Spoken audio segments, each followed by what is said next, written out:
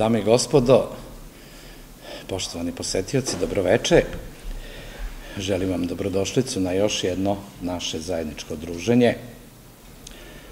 sa temama jeli, iz oblasti političke teorije, političke filozofije i srodnih disciplina. Prošlog meseca e, mi smo načeli e, jedan tematski blok koji sam, ajde da kažem, naslovio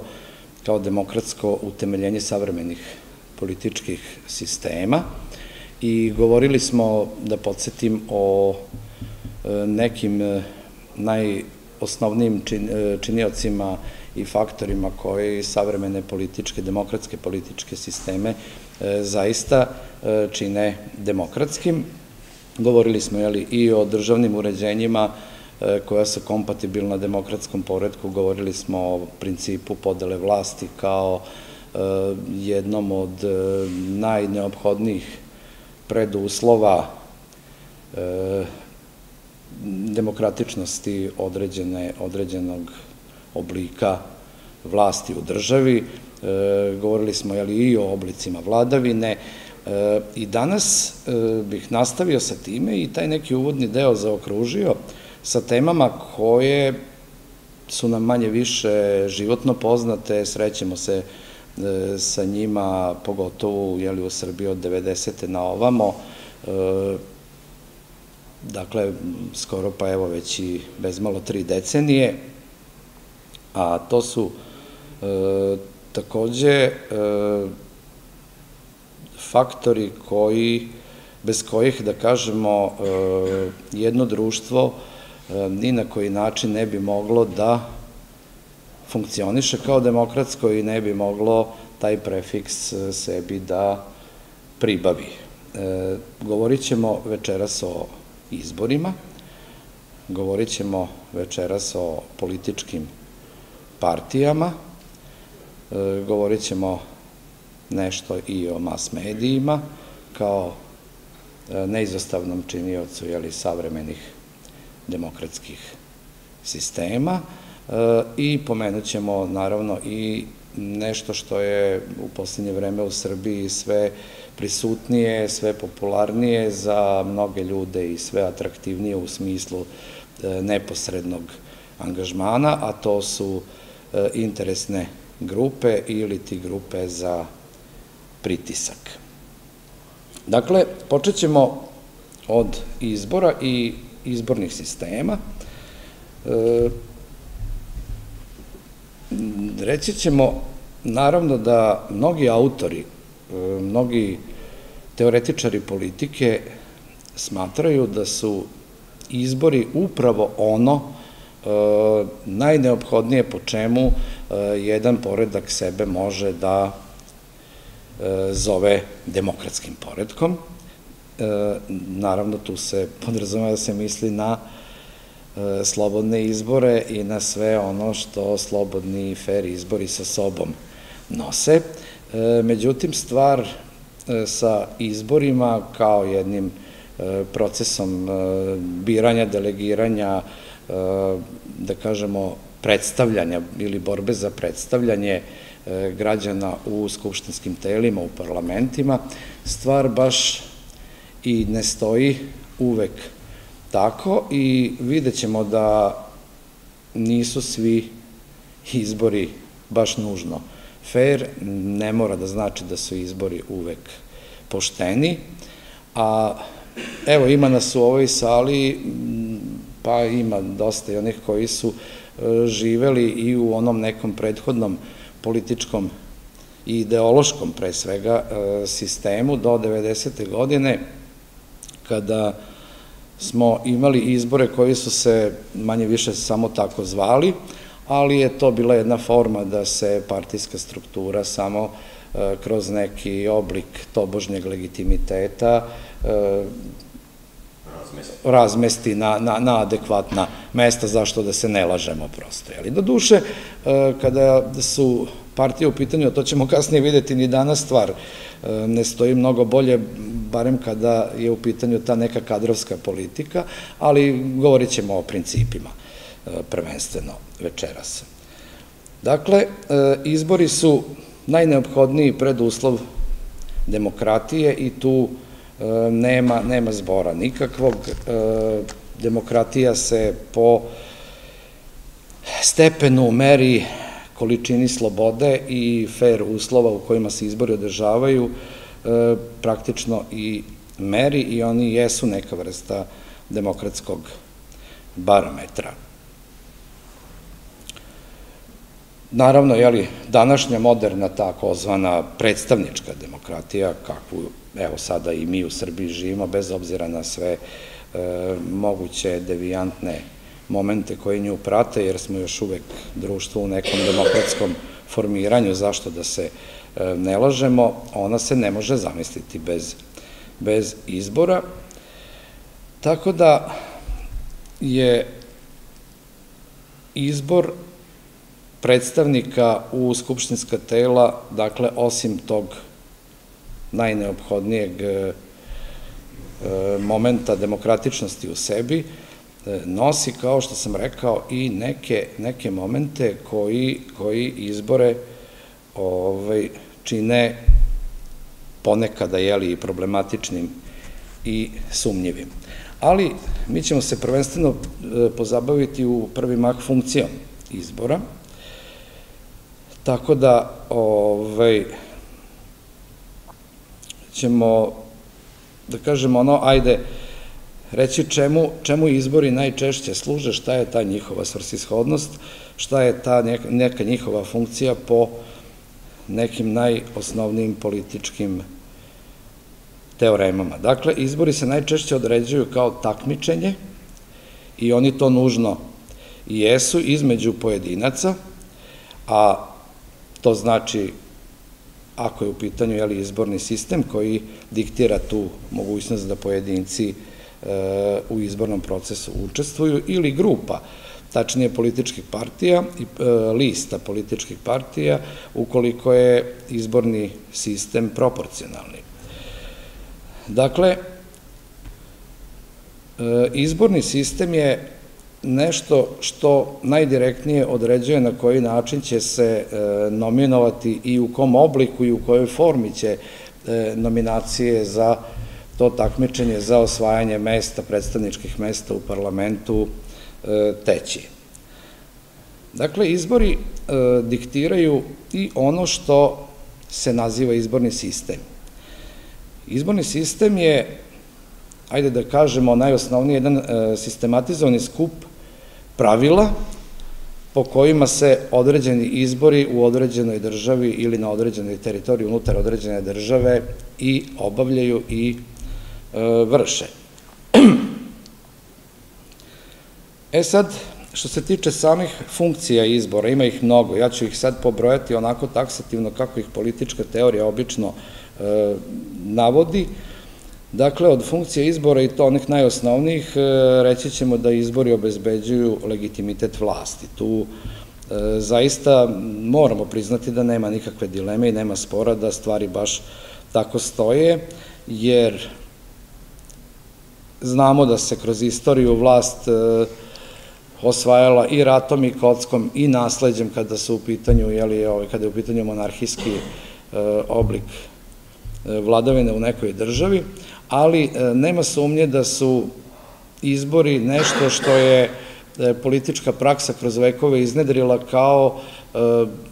vrhunac fer uslova za sticanje mogućnosti da se određeno, određeni elektorat, određeno biračko telo, određena, da kažem, ajde biračka baza, na pravi i legitiman način predstavlja u Skupštini ili parlamentu. Dakle, sledeća funkcija izbora je tada izborom određene elite narod bira put i strategiju budućeg razvoja. To je jedna mogućnost koju u modernim demokratskim procesima svakako ovaj, građani imaju e, i koja e, je postala na neki način i jedno od neotuđivih e, prava građana da birajući određenu političku opciju, imaju tu mogućnost da između njih više biraju ono što njihovom senzibilitetu, njihovim potrebama i njihovim interesima, zašto ne reći, najviše i odgovara. Dalje, kaže politička teorija da su izbori pogodna prilika za informisanje građana o ključnim društvenim pitanjima. I mi smo svedoci u ovoj našoj, eto, jeli, parlamentarnoj praksi, obnovljenoj, skoro trodecenijskoj, svedoci smo da kada dođu izbori, kada otpočne izborna kampanja, da e, zaista se e, usijaju i mediji, i rasprave, i međuljudska komunikacija, stvara se ta neka nova interakcija među ljudima, e, gde ključne ekonomske, društvene, nacionalne teme zaista s pravom uvek dolaze ponovo u žižu, postaju atraktivnije nego što je to slučaj između izbornih E, ciklusa e, i to neko podgrevanje interesovanja građana za vitalne teme, za njihov e, život, za njihovu egzistenciju, za njihovu porodicu, za njihovu državu, opštinu, grad, nebitno, s pravom možemo reći da, da, da, da, da je to zaista jedan, jedan dobar benefit i za, i za same građane, makoliko to u prvi mah možda delovalo nama i beznačajno. E, četvrta stavka, kada je u pitanju funkcije izbora, kaže da su izbori takođe i prilika da se e, pošalje poruka i liderima političkih partija šta narod želi. Dakle, to je upravo ta e, interaktivnost između kandidata, političkih predstavnika i građana od kojih se očekuje glas i te da je njihova, to jest politička ili liderska vlast privremena, i promenljiva. Dakle, izbori imaju taj e, dobar, dobar moment da i političari koji često između dva izborna ciklusa funkcionišu na jedan ležaran način, e, uvek u izbornu kampanju i u borbu za glasove birača moraju da uđu sa tim, sa tim e, nivom i straha i zebnje za budućnost vlastite karijere, vlastitih pozicija, što obično, ajde u nekim e, uređenijim državama e, u mnogo većoj meri, kod nas je to e, svakako u nastajanju, ali je i kod nas polako primetna ta kategorija, da političari postaju iz izbora u izbore sve odgovorniji, njihova obećanja obično postaju, da kažem, svedena na jednu razumnu meru, i stvari počinju vremenom da se uhodavaju i da funkcionišu na jedan prilično, prilično pristojan način. E, jedna od sledećih funkcija e, izbornog procesa je ta da bi izbori trebalo da budu faktor stabilnosti i ventil popuštanja napetosti u eventualnim političkim konfliktnostima e, u jednom društvu. To je pre svega, ajde da kažemo, funkcija izbora kada parlament dođe u krizu, kada imamo krizne situacije, nemogućnosti formiranja vlade, krize vlade, e, gubitka većinske podrške vladi i ukoliko e, se dođe do neke političke pad pozicije iz koje e, ne može da se izađe ni na koji način novim formiranjem neke parlamentarne e, većine, e, onda je neka politička praksa u uređenim demokratijama da e, vlada podnosi ostavku, da se raspisuju vanredni parlamentarni izbori i da se nastala kriza praktično opet rešava izborima i tu se izbori nesumnjivo pojavljuju kao neki, neka vrsta leka za, za društveno novonastalu situaciju u društvu, jeli, da kažemo, e, novonastali problem iz koga društvo ne može na drugi način da izađe. Možda bi i moglo, ali niko nije bolje još sada smislio, pa eto, izbori se tu nameću sa nekim oblikom vlastite lekovitosti za rešenje i takvih, i takvih problema. E, dalje, izbori su sredstvo artikulacije interesa i zahteva pojedinaca i grupa u društvu, e, što je nesumnjivo prilično ovaj, jasna teza, e, ali teza koja od izbora ne pravi neku famu i ne pravi, da kažemo, ono neku, neki, neki oblik lažne, lažne stvarnosti.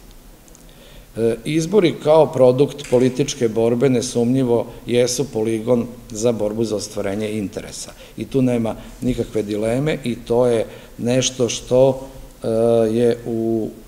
političkom životu svake demokratske države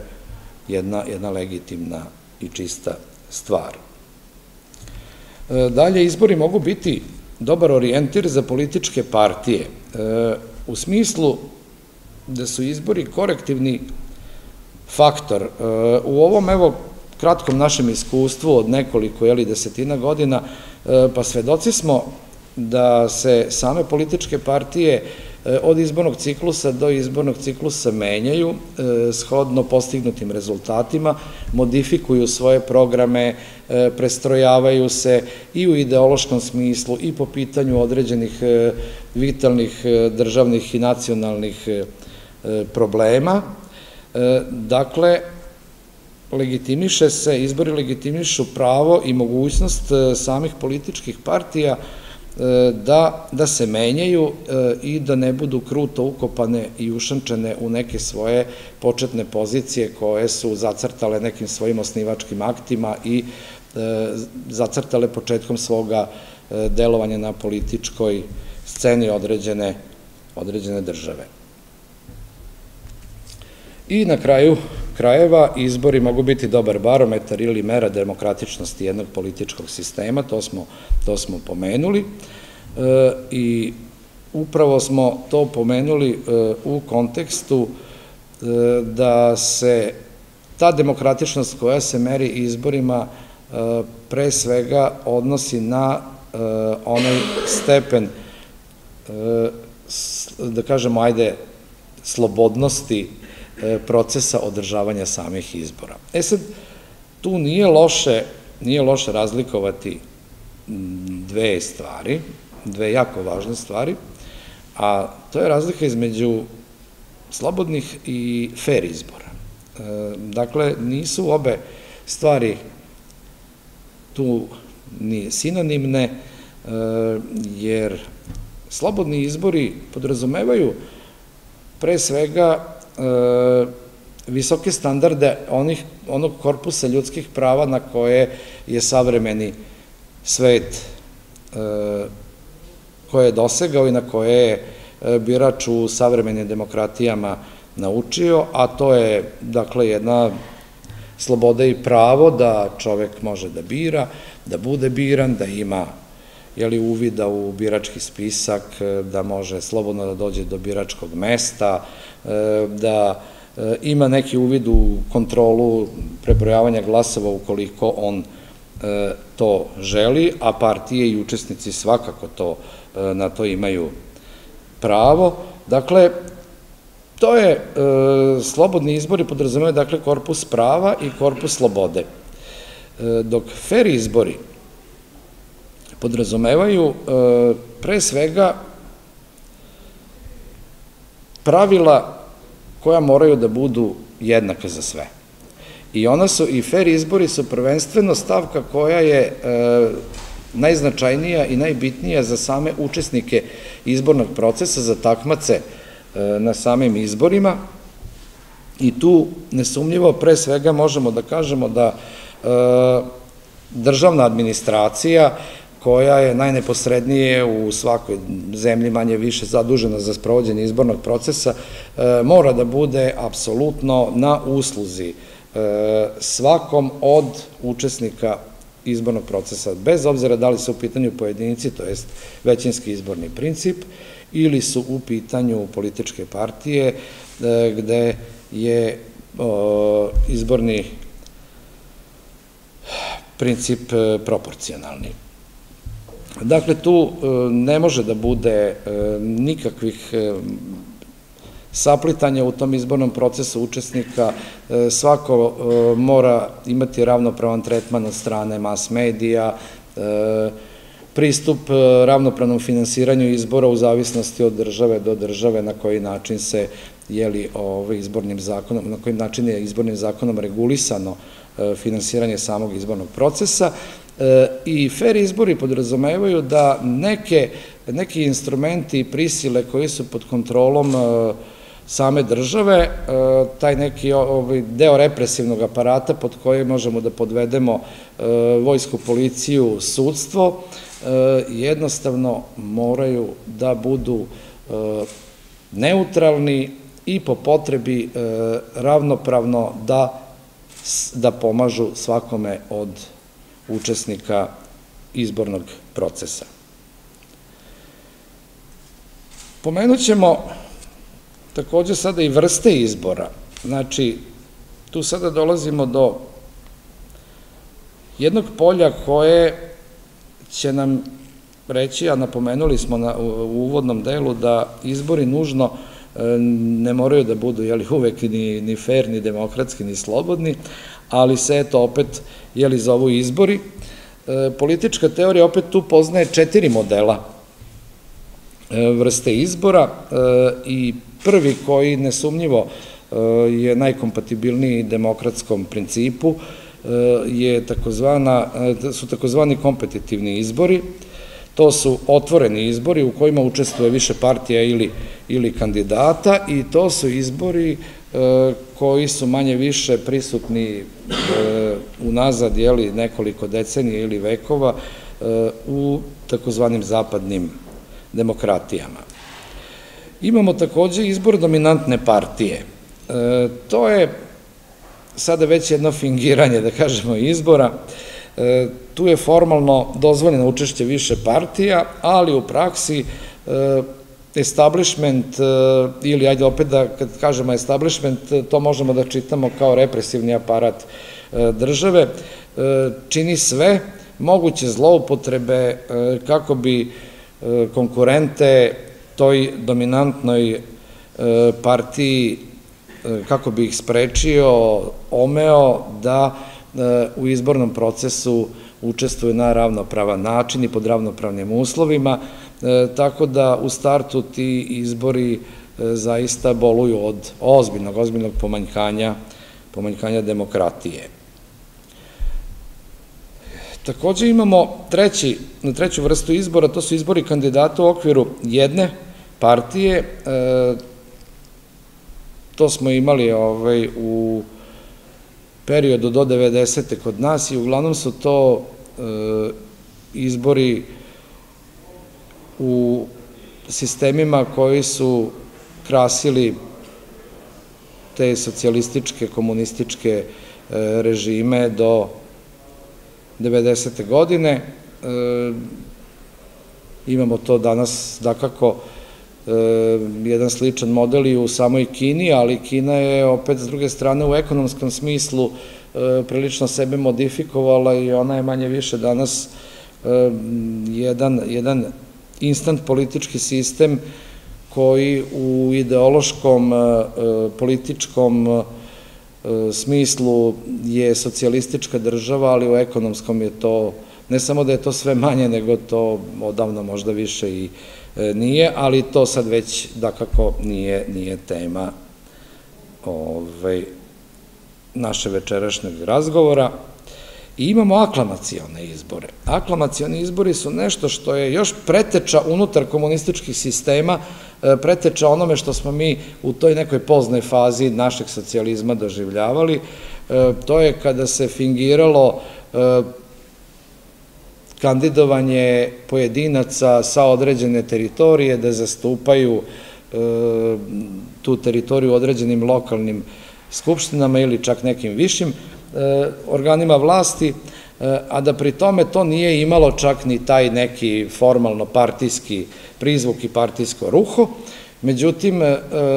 ipak je ta neka dominantna partija to apsolutno sve kontrolisala kroz metodologiju rada tajne policije, javne bezbednosti, pa i svih drugih i svih drugih represivnih, da kažemo, modela koji su im stali na raspolaganju. Pomenut ćemo izborne sisteme. Izborni sistemi su nesumnjivo deo izbornog procesa u određenoj državi i izborni sistemi u principu predstavljaju da kažemo, formule pomoću kojih e, se postiže ta neka vrsta balansa između e, broja stanovnika koji glasaju za određenog kandidata ili partije i broja mesta u samome parlamentu. Dakle, obično izborni sistem ima neku vrstu funkcije da izbalansira i da napravi tu neku harmoniju i ravnotežu e, predstavljenosti samih građana u e, skupštinskom telu. To se od države do države radi na razne načine, e, poznato je mnogo, mnogo ove, izbornih modela, izbornih formula po kojima se izbori vrše i sprovode. Mi imamo takozvani Dontov sistem, dakle sa nekim pragom ispod koga se ne može ovaj, participirati e, u parlamentu, dakle, Dontov sistem koji podrazume u osnovi pre svega jeli, proporcionalni izborni sistem, jer proporcionalni izborni sistem se i smatra na neki način u političkoj teoriji, a i praksa ga je na taj, na e, nekako e, utvrdila kao e, zaista naj, naj, e, da kažemo, najpošteniji izborni sistem, jer E, na neki način on zaista obezbeđuje tu mogućnost da svako sprem svoje snage e, bude predstavljen u parlamentu, ali onda taj izborni cenzus se u mnogim državama e, postavlja i podiže u odnosu na političke, ekonomske, državotvorne, istorijske i druge potrebe, kako bi se sprečio haos u parlamentu i kako baš zaista ne bi doveli sebe u poziciju da e, mikropartije ili e, beznačajni predstavnici koji apsolutno nemaju e, utemeljenje u biračkom telu zauzimaju određena mesta u samome parlamentu.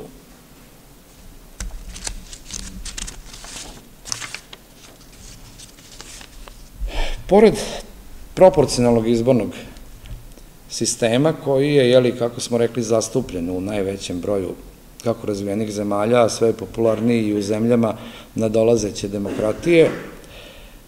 mi imamo i mogućnost takozvanih kombinovanih izbornih sistema. To su izborni sistemi u kojima e, se, ajde, najplastičnije da kažem, jedan deo e, poslanika u parlamentu bira proporcionalnim putem, dakle, sa lista, a jedan deo obično manji, ali nekad je to bilo i pola, pa čak smo i u pokrinskom parlamentu do nedavno u Skupštini Vojvodine imali tu situaciju e, do nekih pre 6-7 godina, da se e, pola parlamenta, 60 poslanika biralo na listi proporcionalno, a 60 većinskim principom u 60 izbornih jedinica, gde su kandidati neposredno kao pojedinci izlazili u E, izbornu trku. Mada praksa u razvijenim zemljama je da je to obično negde 25 procenata četvrtina parlamenta se bira, ali nije isključeno da se ide i do same, same polovine. I imamo taj većinski izborni sistem koji je takođe prisutan i to, boga mi, u e, ozbiljno razvijenim e, državama kao što su Velika Britanija, sve američke države, Australija. Bio je setit ćemo se, ko se seća 90. godine, prvi parlamentarni izbori u Srbiji su obavljeni po e, većinskom izbornom sistemu, da, e, bilo je 250 e, izbornih jedinica sa, jeli, 200, za 250 predstavnika u samom parlamentu. Međutim, tu smo i mi kao Srbi imali priliku da, da se uverimo ili da kažem, ajde, da, da, da sagledamo i neke nedostatke tog sistema, jer ja ću podsjetiti, e, sećam se tog perioda jako dobro, pretpostavljam da po godinama i vi se dobro sećate, naravno, da e, je, recimo, političke partije, kao što je tada bio Srpski pokret obnove, koji je na nivou Srbije, njegovi kandidati su skupili nekde oko 19% glasova, e, on nije imao tu vrstu zastupljenosti koju je koju bi praktično trebao da ima. E, po broju osvojenih glasova na nivou države Srbije. Demokratska stranka je imala nekih sedam poslanika u tom prvom sazivu, a imala je nekih možda blizu 10% osvojenih glasova na nivou cele Srbije, što bi joj proporcionalno nosilo čak sa nekim onim količnikom onih koji ispadnu ispod cenzusa, možda i blizu 30, da. Tako da, ovaj, većinski izborni sistem je uglavnom prisutan, prilagođen i pokazuje e, relativno dobre rezultate e, upravo u ovim državama koje sam pomenuo, Britanija, Amerika i Australija, to je taj anglosaksonski e, korpus država gde izbori, demokratski proces, demokratski poredak nije novost, gde se to gradilo na neki način vekovima i gde ono što je jako zanimljivo i što će biti svakako dalje tema kada dođemo do političkih partija, gde imamo taj ili dvopartijski ili dvoipopartijski e, politički sistem. Međutim, već u kontinentalnoj Evropi e, mnogo su popularniji, prisutniji i mnogo bolje e, rezultate i učinak pružaju ili čist proporcionalni izborni sistem ili kombinovani izborni sistem. I sad e, pomenut ćemo i ono što o čemu uvek pomalo nešto, jeli, dok o svemu ovome govorimo, kažemo, a to su ograničenja e, mogućnosti izbora e, i to su upravo ti problemi, ti nedostaci i te neke loše stvari koje ne mogu da kažem da izbori donose, nego koji pre svega utiču da se e, neko spreči, da se izbori ne odrade na pravi način. E, dakle, to su neke, devijacije koje su pre svega uzrokovane političkim sistemima ili prirodom političkog sistema koji te izbore organizuje na način na koji ih organizuje, pre nego samim principom biranja, jer princip biranja kao princip je veoma čist e, i jasan i u krajnjoj instanciji zaista možemo reći pošten. Dakle, od ograničenja ja ću ih samo taksativno navesti, e, da ne trošimo previše vremena. E, politička teorija prepoznaje to da su e, prisutno, naravno, jeli, kako sam rekao, u najrazvijenijim zemljama i to je manipulacija biračkim spiskovima, to se ne dešava samo kod nas, ne dešava se ni u našem okruženju, ni u demokratijama u nastajanju, e, manipulacija biračkim spiskovima je prisutna i u razvijenim zemljama. E, bilo je, pa mislim, negde krajem prošlog veka, tu 90-ih, ako se ne varam, neke manipulacije i sa laborističkom partijom, koliko se sećamo u Velikoj Britaniji, pa u pariškim gradonačelničkim izborima. Bilo je, uglavnom, e, uglavnom nije, e, gde su ljudi, tu je mogućnosti kvara, kako da kažem, i uvek postoji mogućnost e, potrebe za manipulacijom i za onim što narod prosto zove krađom izbora na bilo koji način. Od ograničenja su prisutne zabrane. Zabrane, znamo to kad smo govorili čak i o nekim ideologijama tokom prošle zime, e, da smo pominjali taj podatak da su žene u Švajcarskoj dobile pravo glasa, na primer, e, tek e, pred kraj 20. veka, aboriđini u Australiji su izbornim zakonom izbačeni jeli, iz mogućnosti, sada više ne, ali sada je to već besmisleno kada ih je ovaj, svedeno na meru koja većini više, da, koja većinu više ni na koji način ne može da ugrozi. E, postoje u nekim državama, pre svega u Nemačkoj, zabrana je postojala dugo učešća fašističkim partijama. Mislim da ona zvanično postoji i danas, e, s tim što partije ko partije nađu način kao i voda da sebe modifikuju i da nazovu nekim drugim imenom sa drugim prefiksima pa da ipak e, uspeju da uđu u dođu do mogućnosti da uđu u izbornu trku. E, jedan od ograničenja je način formiranja izbornih jedinica. E, tu i mi Srbi imamo ovaj, dosta iskustva, jeli, ovaj, svašta se tu pokušavalo. Sećam se jednih izbora 97. mislim, republičkih izbora, kada je napravljen neki, samo su tada održani pod tim pravilima, održani su izbori sa 27 ili 29 izbornih jedinica i sećam se da je tada vladajuća socijalistička partija pravila izbornu jedinicu Bačka Palanka, Vrbas, Srbobran, sve nekako do titola, znam da se zvali Kifla izborna jedinica, jer su na taj način u stvari procenili da u tim opštinama imaju izuzetno jako uporište i da im je to jedini način da u toj opštini uzmu sva četiri, recimo, kandidata ili koliko je bilo nominalno. Čak mislim da su tu e, ubacili i više kandidata nego što je srazmerno broj stanovnika, da, tako je bilo. Novi Sad je davao četiri, a ta izborna jedinica možda nekih šest ili sedam, tako da su e, već u startu praktično imali neku vrstu prednosti. Ali to je, to su ovaj, te manipulacije koje se e, dešavaju u, u, u e, predpolitičkim društvima, demokratijama u nastajanju e, i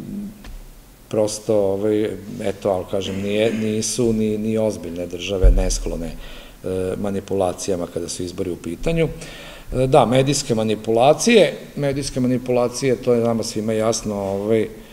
o tome ne treba previše trošiti reči i poslednja stavka koja utiče na e, da kažemo ono ograničenje izbora ili ograničenje prava građana da e, u krajnjem ishodu e, njihov glas bude valorizovan na pravi način, to su te klasične, ali zaista brutalne krađe na samim izborima tokom prebrojavanja samih biračkih, biračkih listića. Dakle, izbori, izborni procesi, e, izborna pravila, izborni sistemi, to je takođe e, jedan od ozbiljnih, zaista, da kažemo, ono, ne, krucijalnih, suštinskih e, pojmova koji određuju demokratičnost određenog političkog, savremenog političkog sistema. E, rekao sam, danas ćemo govoriti i o još e, jednom fenomenu, jednoj, možemo sad već to reći i o jednoj instituciji, a to su e, političke partije. Političke partije su prisutne, evo, sada i kod nas, nije nam to, e, sve manje nam je to sada nepoznat teren, praktično živimo taj sistem, i političke partije su se, dakle, vremenom nametle kao, nametnule kao ovaj, jedan od temeljnih i nezaobilaznih činilaca savremenih političkih sistema. E sad, kada je reč o nastanku političkih partija, obično ono što mi danas prepoznajemo kao jedan modern oblik političke partije, organizacije političke partije. E, to je nastalo pa u rudimentima, da kažemo, ono u 18. veku, ali krajem 19. veka je to zadobilo jedan oblik koji u manjoj ili većoj meri mi e, danas prepoznajemo kako u Evropi, svetu, tako ali sve više i kod nas. Međutim, politička teorija nije nesklona da partikularnost da kažemo, ono poveže i sa drevnim vremenima, pre svega antičke Grčke, Rima, pa e, i ostalih epoha e, do, do modernog doba, ali e, s tom razlikom što partikularnost, princip partije, partijašenje, pre svega moramo doživljavati kao princip tabora. Jer ljudi su u svojim predstavničkim telima i tada ovaj, se borili za određena prava i onda su e, svakako sprem određenih interesovanja, nekad ad hoc, nekad na duži period, e, se formirali određeni tabori, određene grupacije koje su e, u svojoj osnovi imale neke naznake onoga što mi danas prepoznajemo kao političku partiju. Dakle, šta su političke partije? Političke partije su po teoriji dobrovoljne političke organizacije dužeg trajanja, što je jeli, danas neki standard, koje se bore za osvajanje ili održavanje političke vlasti radi ostvarenja određenih ideja ili interesa. Pa, nekada i ideja, pa makar kao pokriće za ostvarenje interesa. e, dakle, ovaj, ajde da kažemo da u modernom dobu partije koje su možda do, ajde do pre možda koju desetinu godina isključivo e, kanalisale interese jeli, e, građana i svoje u toj e, interakciji vršile svoju funkciju. Danas one nekako kao da su izborile sebi i nametle sebi pravo da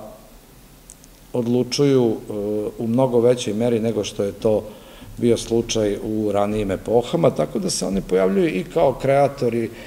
organizacije, dakle, samoga društva, ustavnog poredka, izbora, svega. E, jednostavno, partije su sebi izborile tu vrstu statusa e, da odlučuju pre svega i iznad svega, a opet s druge strane taj izborni proces o kome smo pričali e, na neki način im pružaju tu vrstu legitimiteta da čine to, to što čine na način kako to danas partije rade. E, kako su nastajale političke partije? Partije su nastajale na razne načine, e, negde su nastajale moderne, govorimo o modernim političkim partijama, kao parlamentarne frakcije. To je slučaj e, pre svega kako je stvoren taj rascep u američkom političkom sistemu, američkom kongresu između Jeffersona i Hamiltona. Negde su političke partije nastajale kao produkt borbe radničkih pokreta za ostvarenje svojih prava. E, tu pre svega mislimo na nastanak laborističke partije u Velikoj Britaniji. E, negde pak političke partije nastaju kao produkt nacionalno-oslobodilačke e, borbe, kao što je slučaj sa kongresnom partijom Indije. Dakle, razni su načini nastanka političkih partija, ali ono što je možda e, u najvećoj meri e, zastupljeno kada je reč o modernim političkim partijama, e, to su ideologije. Ideologije su u modernom dobu možda po, da kažemo onako i po, po najviše uticale na formiranje, na grupisanje ljudi, ali oko određene političke ideje i njihovog organizovanja u političku partiju okupljenu oko određenog ideološkog koncepta. Ideologija je, dakle, jedna od ključnih komponenti e, političke partije. Ideologija je po političkoj teoriji neki skup ili sistem orijentacija, predstava i uverenja o stvarnom ili poželjnom uređenju politike i društva. Dok je politički program partije ili partijski program predstavlja neku vrstu, da kažemo, konkretizacije same te ideologije ili ideološke osnove oko koje je e, određena partija formirana, okupljena e, i ustrojena ili da kažemo da je program njen operativni ideološki izraz ili izraz ideološke operativnosti tog, te partije. Što se tiče ozbiljnih političkih mislilaca, pomenut ćemo dva e, i njihovo neko gledanje šta je politička partija, pre svega Edmund Burke, koji kaže da je partija grupa ljudi koju ujedinjuje njeno načelo oko koga se svi slažu. Dakle, vrlo kratko, koncizno, jednostavno, konstanto, kaže još jednostavnije, partija je udruženje ljudi koji ispovedaju istu političku doktrinu. Dakle, imamo taj taj, taj pojam ili termin ispovedanja, kao da, da gde, praktično se i, i, i na neki način e, sugeriše da partije imaju zaista tu neku e, vrstu verskog, sektaškog, e, ali ne kao primarnu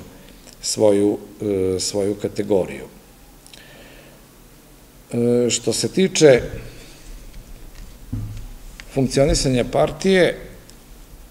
ona naravno ima svoje članstvo koje ima određeni interes i jedan od karakteristika funkcionisanja političkih partije je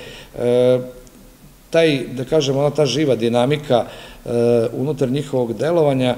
gde treba usaglasiti upravo e, tu potrebu da se zadovolje interesi njihovoga članstva, a da se pri tome ne ugroze vitalni državni nacionalni interesi i to je taj neki, da kažem, socijalni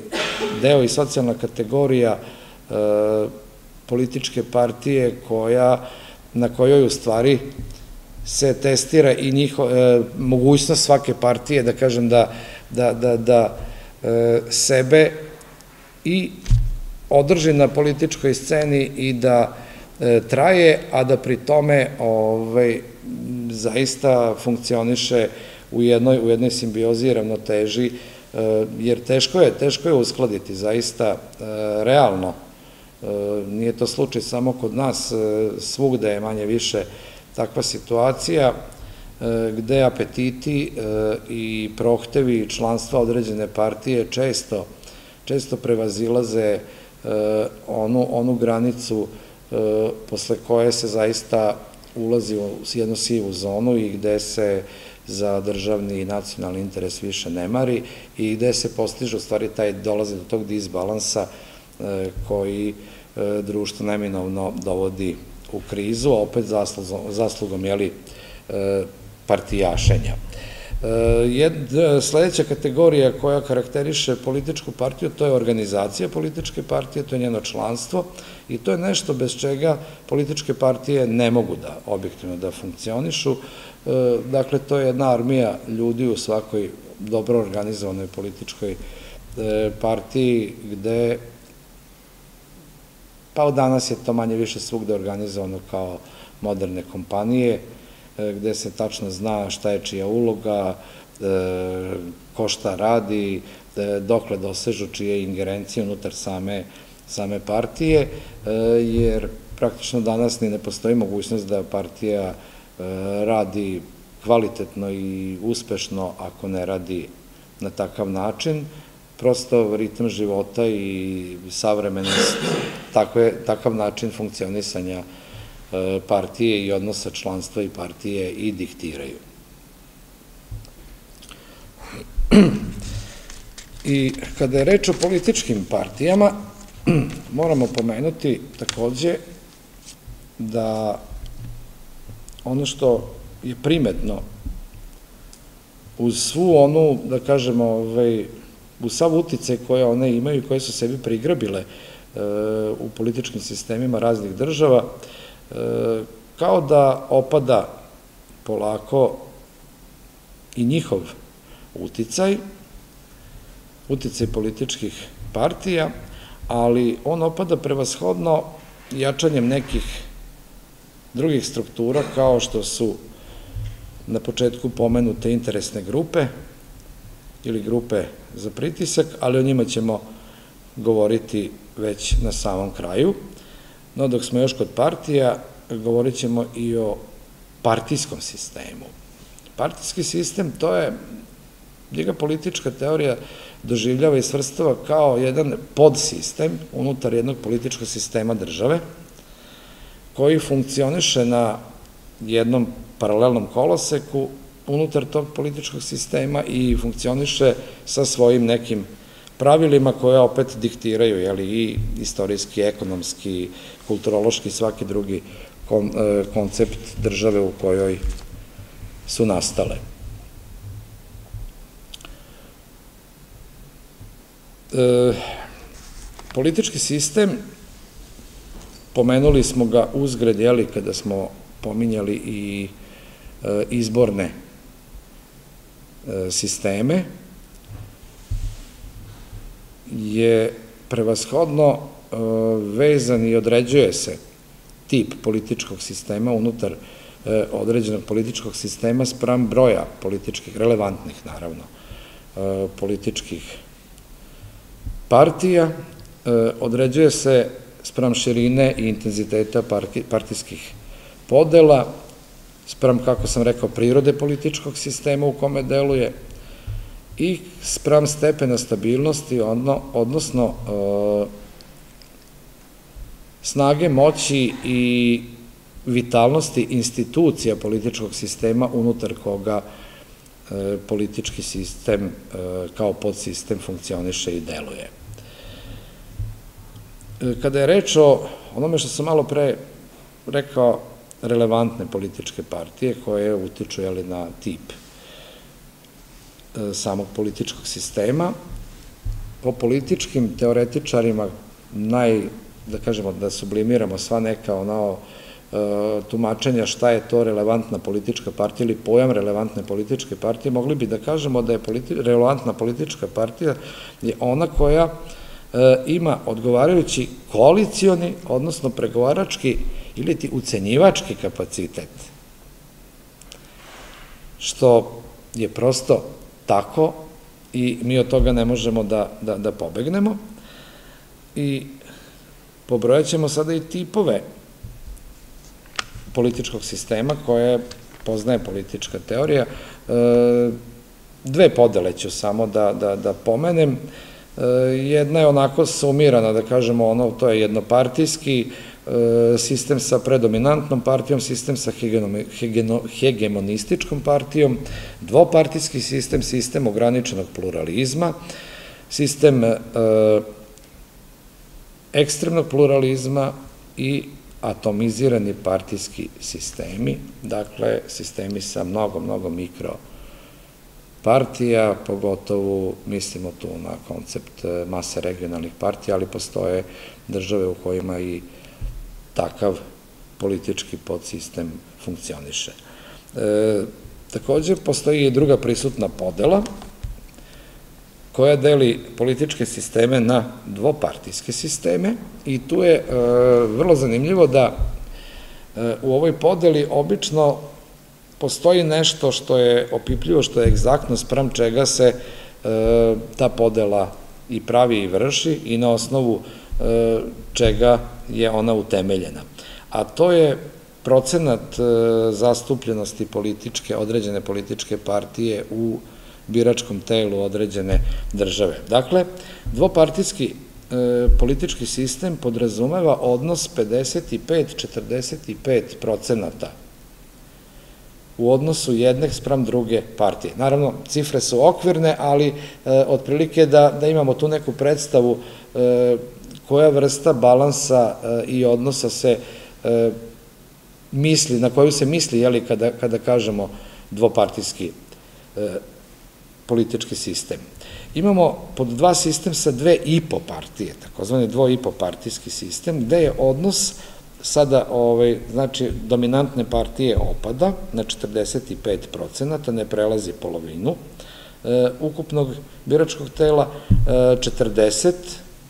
procenata kao snaga druge partije i 15 kao treće. Korektiv, da. Pa dobro, to smo dugo imali na neki način, ajde, prisutno i u Britaniji, pa i u Nemačkoj, da, ali u Nemačkoj imamo e, neki oblik 2 e, plus e, Jedan, jedan, ali liberali i zeleni su ili jedan i po sprem jedan i po, ajde, tako da ga, ne, ne znam kako bi taj nemački sistem sprem tih procenata ukalupio, ali generalno mi preliči na onu staru postavku u Britaniji, laburisti, konzervativci, liberali. E, mada i sada se i tamo situacija polako menja. E sad više partijski sistem sa dominantnom partijom, Tu sada imamo odnos 45% dominantne partije i onda učešće 20% druge, 15 treće, 10 i 10, četvrte i pete. Dakle, to je već sada jedan e, sistem sa e, više pluralnosti gde imamo pet jakih prisutnih partija koje e, su zaista na neki način relevantni činioci tog političkog sistema. I četvrti model je višepartijski sistem sa bez dominantne političke partije. Dakle, sistem u kome, u kome, koji nikada bez koalicijne vlade ne može da funkcioniše ni u pismu, jer je prosto tako, tako postavljen i zaživeo i tu je odnos 25, 25, 25, 15 i 10. Ali takav sistem e, zaista pruža veliku mogućnost koalicijenog kapaciteta svake, svake političke partije, e, a samim tim i na neki način omogućuje uz sve ono što smo malo pre, možda malo i pežorativno i sa podsmehom rekli, ovaj, e,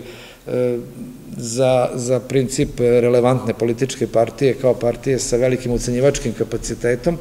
da tu možda i najmanja opasnost od nestabilnosti vlade e, i da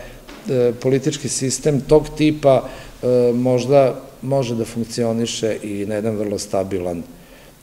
način bez da E, se ikada upada i da se ima potrebe da se dođe do, do, do samog, same krize unutar parlamenta. I ono što smo već, jeli, ne znam koliko, kako stojimo, 20.06, ovaj, interesne grupe. Pomenuli smo ih. E, interesne grupe, moramo reći, nisu one čedo novog doba. E, političke prakse. Interesne grupe su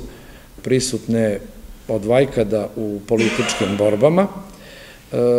ono što danas prepoznajemo kao, kao neki oblik interesnih grupa, tome je najsličnije možda princip gildi u srednjem veku, dakle, esnavska udruženja i sve ostalo što je praktično kroz e, mogućnost e, uticaja novcem, lobiranjem ili na bilo koji drugi način e, pokušavalo i najčešće uspevalo da određeni korpus svojih prava, da se izbori za realizaciju određenog korpusa svojih prava, to danas prepoznajemo kao lobby grupe, nevladine organizacije, e, sve ono što je e, sve prisutnije, ne samo kod nas, nego je to praktično e, jedan planetarni trend. I ono što je nesumnjivo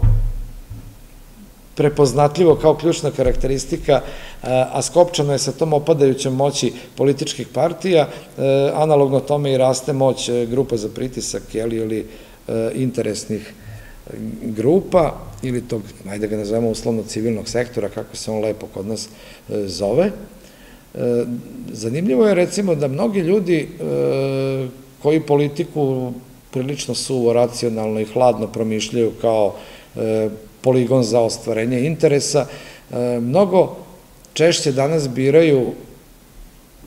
prisutnost u interesnim grupama, u lobby grupama, u grupama za pritisak, nego e, što vide sebe kao participijenta u određenoj političkoj partiji, e, postaju mnogo atraktivnije za ostvarenje, dakle, određenih političkih i drugih ciljeva. I Još jedan od činilaca e, demokratskog utemeljenja modernog političkog društva su, naravno, mas mediji. Mas mediji, čiji značaj nesumnjivo raste, e, čiji, čija uloga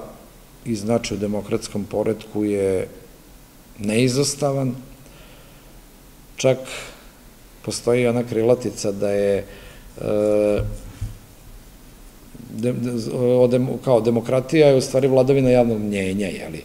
E, to bi bilo da kako idealno kada bi e, javno mnjenje bilo jedna, jedna kategorija koja je samonikla, samosvesna, međutim, kako se uvećavaju tehnološke moći i tehnološka čuda, tako i mogućnosti manipulacije tim javnim mnjenjem ne manjkaju, ne pomanjkavaju, naprotiv, samo, samo e, prate taj, taj jedan tehnološki trend, tako da je ozbiljno, ozbiljno pitanje koliko je javno mnjenje zaista produkt vlastite samosvesti. No, ovaj,